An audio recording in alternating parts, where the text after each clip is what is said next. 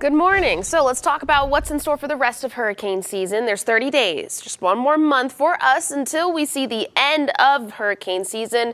But where does, does tropical activity like to form during the month of November? Well, we see a shift as we head later on into hurricane season, closer to home, closer to the Caribbean. But those cold fronts that we've been seeing lately, like the one that dropped our temperatures for today and part of the weekend, that kind of helps deflect tropical activity from us and from the Gulf. The timing has to work out, of course, but usually once we see that first strong cold front, that starts to usher in a change in our focus, kind of moving away from hurricane season. So those little green patches, uh, that's where formation's likely. It's not guaranteed, but remember just a month ago, we had some orange on the map, and then in September, we had some red on the map when it comes to where tropical activity is most likely to form.